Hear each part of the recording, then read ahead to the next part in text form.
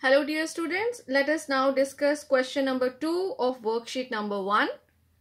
So here we have to find the positive value of the variable for which the given equation is satisfied. Now observe the equation which is given.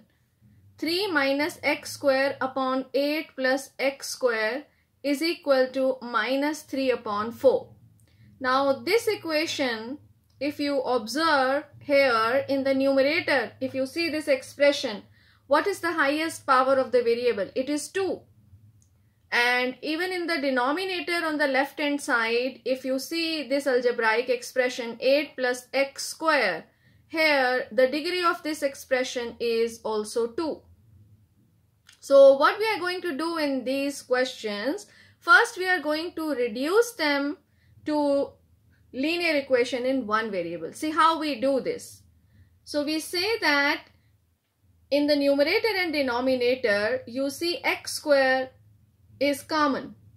Here also you have x square, a term involving x square and in the denominator also you have a term involving x square. So what do we do? We say put x square is equal to, you can choose any other variable t. For example, I have taken here t, say. So tell me, if you take x square is equal to t, what will be the new equation which will be formed? So therefore, 3 minus, so at the place of x square, we are writing t. So what will be in the denominator? It will be 8 plus t. This is equal to minus 3 by 4. Now you see that these kinds of equations you have solved. What process do you follow? Yes, you do cross multiplication. So 4 into 3 minus t is equal to minus 3 into 8 plus t. This implies when you simplify you get 12 minus 4t is equal to minus 8 3s are 24 and then minus 3t. Now you bring minus 3t to the left hand side. So we say it transpose minus 3t to the left side. What do we get? This is minus 4t plus 3t and you transpose 12 from the left hand side to the right hand side. So it becomes minus 12. So this implies, now you simplify this, we get minus t is equal to minus 36. Right, so what is T? So T is 36. Now T is 36, but here in the question if you see, we have to find the positive value of the variable. And if you observe that here the equation which is given for solving, it has the variable x. But what we have found? We have found the value of t. So we need to do one more step that means in place of this t, we are going to put 36. So this implies x square is equal to 36. Now you tell me if x square is equal to 36, you know that uh, there are two numbers plus 6 and minus 6. If you square this, you get 36. Now in this question, we need to find the positive value of the variable so tell me what will be the answer. x is equal to plus 6 is the answer as we have to take the positive value of the variable. So x is equal to plus 6 is the positive value of is the positive value of variable. Right? So answer to this question is x is equal to 6. Let us now do the second part of this uh, question. So the second part says we need to solve the equation and the equation is y square plus 6 upon 8y square plus 3 equals 1 by 5. Now you tell me how you are going to do this. Yes, first step will be you will assume let y square is equal to t. Now if y square is equal to t, This implies t plus 6 upon 8t plus 3 equals 1 by 5. Now, do the cross multiplication. So, what do we get? 5 into t plus 6 is equal to 8t plus 3. This implies 5t plus 30 is equal to 8t plus 3. This implies now transpose 8t to the left hand side.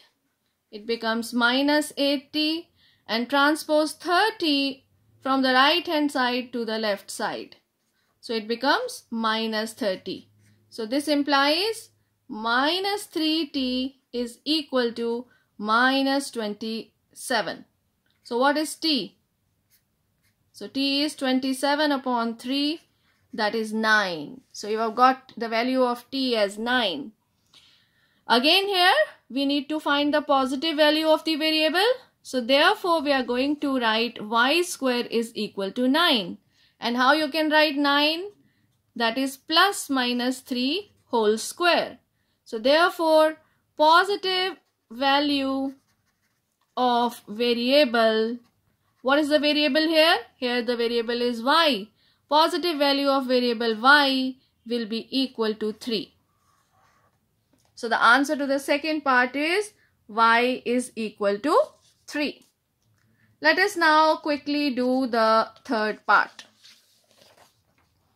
So the third part says we need to solve x square minus 9 upon 5 plus x square is equal to 5 by 9 and we need to find the positive value of the variable x. So how you are going to do? Yes, we will write down let x square is equal to t. Therefore, the given equation will get reduced to t minus 9 upon 5 plus t is equal to 5 by 9. Then do the cross multiplication. What do you get? 9 into t minus 9 is equal to 5 into 5 plus t. Simplify this. So 90 minus 81 is equal to 25 plus 5t. This implies now transpose 5t to the left hand side. You get 90 minus 5t is equal to 25 and then transpose minus 81 to the right side. So it becomes plus 81. This implies what is 90 minus 5t? That is 4t and 25 plus 81 that is 106. So what is the value of t? So t comes out to be 106 upon 4. Interesting. Now you see that here we need to find the value of x and that to the positive value of x. Here x square is t. And what is the value of t which you have got? The value of t is 106 upon 4. Can you simplify this? 106 upon 4. Yes, we can do that. 2 2s are 4, 2 5s are 10 and uh, 2 3s are 6. So it comes out to be 53 upon 2. So x square is 53 upon 2. How you can write 53 upon 2 as square of some number? Think about it. How you are going to write it? It's very interesting. You have learned about squares and square roots and you know how to express it. Yes, you can simply write it as plus minus under root of 53 upon 2 whole square. Isn't it? See the beauty. Yes, you can write it like this. If you do square root of 53 whole square plus minus, then what do you get? You get 53. Similarly, in the denominator, if you do square root of 2 whole square, then what do you get? You get 2. So you can express it like this. So what will be the positive? Therefore, positive value of variable. Out of these two we are going to take the only the positive value. Positive value of variable x is equal to now tell me the answer. Yes it will be under root of 53 upon 2 Yes, if you wish to do the rationalization of the denominator, you can do that. Okay, tell me how you can do that. So what you can do is you can write it as 53 upon root 2, multiply by root 2 and divide by root 2. So what do you get? What is root 53 into root 2? That is very simple. You have already got that 106 under the root. And in the denominator, you get 2. So in that case, better would be like you are not going to do the cancellation part over here and you can do it directly. Right, you can write x square is equal to 106 upon 4 and that like I'm just going to explain that. You can write x square is equal to 106 upon 4 because t was 106 upon 4. So you can write this as plus minus under root of 106 upon 2 whole square. Right. So from here also you get that answer. I hope it is clear to you. So now you can try the fourth part on your own.